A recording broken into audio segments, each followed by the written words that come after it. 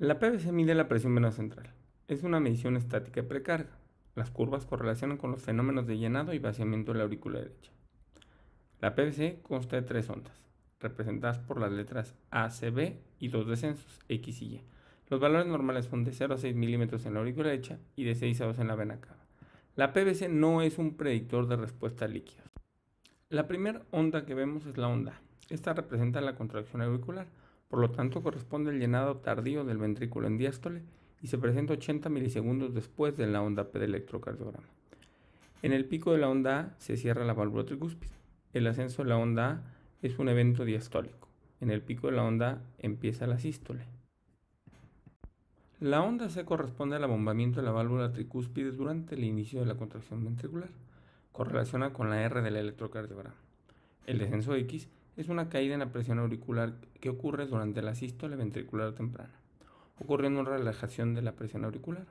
La onda C y el descenso X son eventos sistólicos.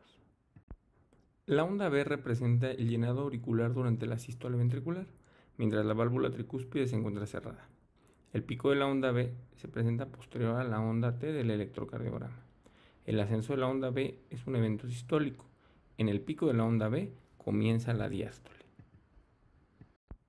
El descenso Y ocurre en la diástole temprana una vez que la válvula tricúspide se ha abierto y la aurícula derecha se vacía rápidamente. El descenso Y es un evento diastólico. Repasando, la onda A se presenta en diástole secundaria a la contracción auricular. En el pico de la onda A se cierra la válvula tricúspide e inicia la sístole ventricular. La onda C representa el abombamiento de la válvula tricúspide. El descenso X corresponde a la relajación auricular. La onda B es un evento sistólico que correlaciona con el llenado de la aurícula. En el pico de la onda B se abre la válvula tricúspide e inicia la diástole. La onda Y representa el llenado ventricular temprano y por ende la caída de la presión auricular. Si te interesa recibir el resumen de esta cápsula, visita nuestra página web www.smact.org.mx donde lo podrás descargar. Si quieres poner a prueba tus conocimientos sobre la PVC, Dale clic al enlace que aparece en la esquina superior derecha o que encontrarás abajo en los comentarios junto con la liga de varios artículos relacionados.